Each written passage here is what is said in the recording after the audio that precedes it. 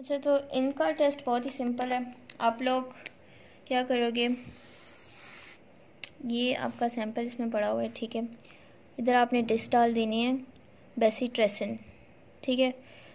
तो एक बात मैं आपको बता दूँ कि जो बेसी ट्रेसन सेंसिटिव होते हैं, वो पायोजीनीस होते हैं, ठीक है, सेंसिटिव। और जो बेसी ट्रेसन रेजिस्टेंट होते हैं ना, वो आपके पास ए गैलेक्टी होते हैं, ठीक है।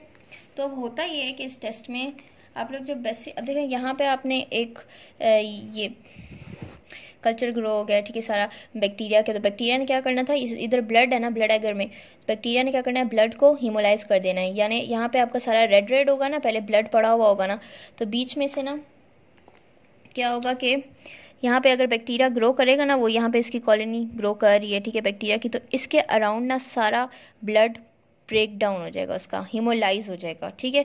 तो यहाँ पे इतनी बड़ी सी ना जोन ऑफ़ हिमोलिसिस आ जाएगी, यानी ये सारा हिस्सा वाइट हो जाएगा, ये सारा हिस्सा इनविजिबल हो जाएगा, यहाँ से ब्लड खत्म हो जाएगा, ठीक है? यहाँ से ब्लड खत्म हो जाएगा हिमोलाइज हो जाएगा, और बाकी साइड पर समझो पड़ा हुआ है, ठीक है? तो इसका मतलब क्या हुआ?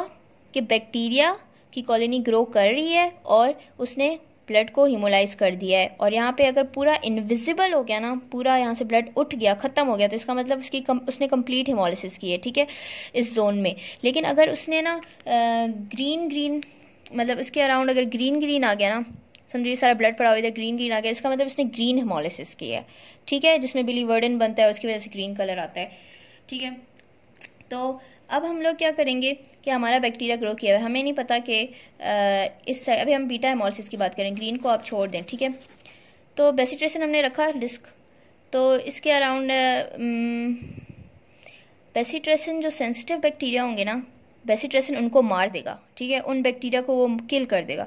So bacitracin will kill those bacteria और यहाँ पे जो अराउंड समझे, ये ब्लड पड़ा हुआ है तो ये वाला जो इसके अराउंड ब्लड होगा ना that will not be haemolysed क्यों? क्योंकि वहाँ पे बैक्टीरिया जो पड़े हुए थे बेसिट्रेसिन ने उनको मार दिया और यहाँ पे हिमोलिसिस नहीं होगी। यहाँ पे इनविजिबिलिटी नहीं आएगी। यहाँ पे बीटा हिमोलिसिस नहीं होगी। बाकी हर जगह पे होगी, ठीक है? लेकिन अराउंड द डिस्क नहीं होगी। तो इसका मतलब the bacteria growing in this culture is bacitracin sensitive it is killed by bacitracin लेकिन अगर हमने इसी तरह बेसिट्रेसिन रखा है यहाँ पे, ठीक है?